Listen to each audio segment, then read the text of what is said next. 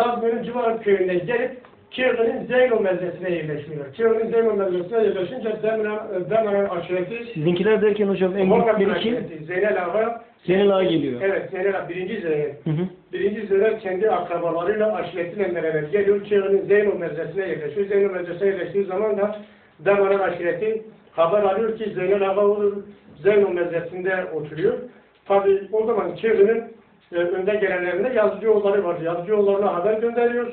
Sen Zeynel Ağa'yı kendi sınırların içerisine çıkarırsan çıkar çıkarmıyorsan biz seninle savaşırız. Bunun üzerine de e, yazıcı oğulları Zeynel Ağa'ya baskı yapmaya çalışıyorlar. Tabi Zeynel Ağa o baskıya rağmen onlara karşı direniyor ve gelip bugünkü bizim yerleştiğimiz köy Garevi, o Kari bölgesinde Garevi'ye geliyor. Kari ismini nereden alıyor dersiniz. Darevi'nin ve Korkan köyünün arka tarafında bir ziyaret var. Karer Baba ziyareti diyorlar. O e, şeyde Karer Baba dedikleri o dağdan Karer ismini alıyor. Karer Dukuz Pale Köyü, Pale Köyü'nün hepsi akrabadır.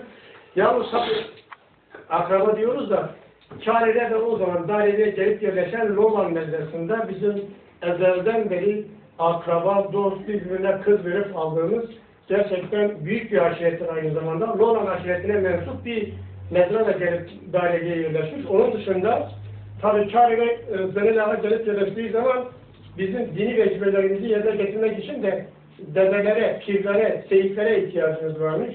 Günün birinde Zeynel Ağa duyuyor ki e, şey, buraya duyuyor ki şey geliyor, e, dedeler demiş, babamın Turan e, ocağa gelmiş, Siram çayırı denilen, Sarya'nın aslında Siram çayırında çadırları kurmuşlar. E, bunun haberi alınca elçilerini gönderiyor, Baba Mansur'ları Darevi'ye getiriyor. Darevi'ye gelen Baba Mansur ocağından üç kardeşmişler. Bunun en büyüğü Kırızbel Kol Darevi'de kalıyor. Seyyuri gidip Saryan'a yerleşiyor. Ee, Şeyh Seydar'ı da gidip Varto'nun Canasaran köyüne yerleşiyor.